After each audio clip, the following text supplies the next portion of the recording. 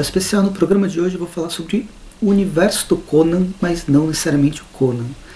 Nessa nova empreitada da Marvel, né, que retomou os direitos do Conan, ela criou duas revistas, que já falei aqui, uma nova Espada Selvagem do Conan e a revista do Conan, O Bárbaro. E aí ela tem o seu desenvolvimento próprio. Mas a ideia da Marvel é trabalhar o universo todo da era iboriana de uma forma mais independente e explorar seus personagens, seus ampliar mais esse, esse cenário todo que é, é bastante rico, não tem só o Conan para se, se trabalhar. E ela criou essa Era de Conan, é uma revista que na verdade é um, é um tipo de título que vai reunir a cada cinco edições uma, uma minissérie, seria um título de minisséries. E aqui a gente começa com Bellet. Na, a é a rainha da Costa Negra, uma das principais personagens secundárias do universo do Conan. E ela foi criada pelo próprio Robert Howard em 1934, quando foi publicado um conto que ela aparece na Weird Tales. E esse conto já foi adaptado diversas vezes para os quadrinhos, desde os anos 70. Dark Horse adaptou também, teve continuações e tal. Uma outra, a outra história da, da era do Conan, que a, a Panini deve estar tá planejando trazer para o Brasil, talvez nesse segundo semestre, não sei como tá por causa da Covid, tá todo esse rolo de, né, da pandemia.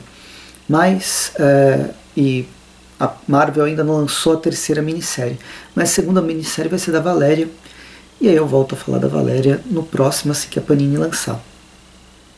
Mas por enquanto, essa Weird Tales, que tem essa Bellet, que nasceu na Weird Tales, ficou na minha cabeça, ela tem os roteiros da, de Tini Howard e a arte da Kate Niexik, difícil nome. Essa Kate, ela participa de todas as edições, mas ela faz arte, arte final da primeira e segunda. A partir da terceira entra outra pessoa para fazer a arte final. A quarta e a quinta parece que vão deixando a Kate de lado para outros, para o Scott Hanna e Andrea de Vito. Porque aqui vai uma das, uh, uma das decepções. A arte é muito genérica, muito ruinzinha ela não representa o que deveria ser a Bellet, o que deveria ser essa rainha da Costa Negra. É uma arte que você não tem sequências de ação empolgantes. Na verdade, a própria personalidade, personagem, né, os personagens são um pouco tem uma caracterização muito simplificada. Mesmo as cores, elas são elas não chegam a ser cores chapadas, né? O Jason Kidd é um colorista conhecido, bom até, mas ela não, não parece viva, né? Uh, os personagens não parecem vivos. Eu acho que um pouco disso também é culpa do próprio roteiro.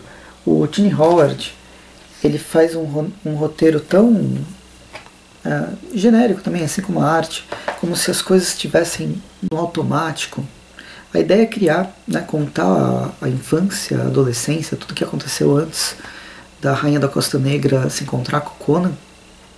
E aqui, né, a Rainha dos Piratas. E aqui mostra como ela era uma, uma garota filha do Rei dos Piratas, esse rei que abandonou, abandonou o navio depois que ela nasceu para cuidar dela, mas um pirata nunca abandona a pirataria e a, a pirataria veio cobrar as dívidas dele ele acaba morrendo.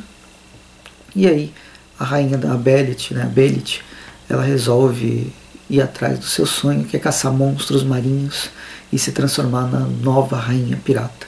Podia ter um tom de aventura empolgante até, mas não, as coisas. Nenhum dos personagens aqui são interessantes. A própria Belit parece uma garotinha mimada que fica gritando com todo mundo e as pessoas simplesmente aturam as coisas que ela faz. Mais para frente, quando ela está sozinha, ela consegue as coisas por causa de sorte. Talvez seja é, estratégia que ela apresente aqui, que ela tenha né, na, na alma dela, mas não é isso que aparece na, na história.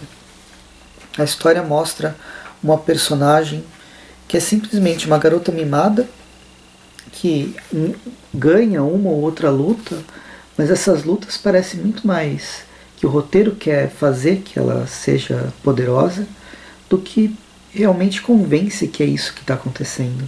Então, enfim, é muito muito fraca, uma minissérie muito fraca e numa tentativa de criar um novo título, de criar uma nova linha de quadrinhos explorando essa era iboriana, eles começaram muito mal. Acho que a última, a única edição que vale a pena é a quinta edição. Podia resumir as quatro primeiras numa coisa só e deixar a quinta é, completa, que é a Belit lutando contra um sacerdote do deus Set, né, o deus da morte. E aqui a gente tem uma coisa um pouco mais interessante, uma luta mais legal e tal, mas do resto é completamente ignorável essa minissérie. Seguindo o conceito editorial dessa linha do Conan, todas as, as histórias vêm com um conto, e esse não foi diferente. No, no final de cada edição veio um conto, né, o conto do Os Ossos, que, Os Ossos Sussurram, do Michael Stackpole, e é mais um conto sobre a Berit. Esse aqui é ainda melhor, o que não é difícil, mas melhor que a história em quadrinhos. E acho que o mais interessante é que ele segue essa linha, todas as revistas do Conan tem esse é sempre acompanhada de um conto junto com, com a história em quadrinhos.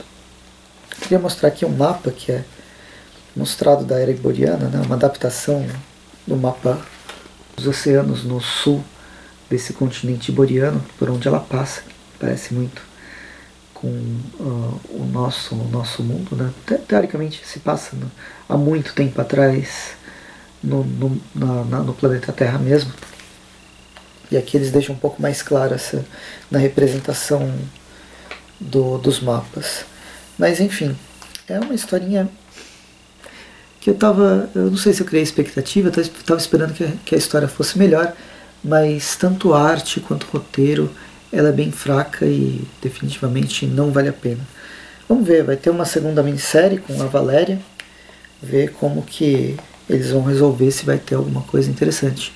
Se não, não sei se a era de Conan vai ter uma vida muito longa. Mas eu vou ficando por aqui. Espero que vocês tenham gostado do vídeo. Curtam o vídeo, assinem o canal, assinem o Chapéu do Preço no Facebook. Me sigam no Instagram, arroba Preço Gáudio. E comentem, vocês leram a Era de Conan, não leram? Leram essa primeira do Bellet? Estão gostando do novo Conan da Marvel? A gente conversa nos comentários, até mais e bons quadrinhos.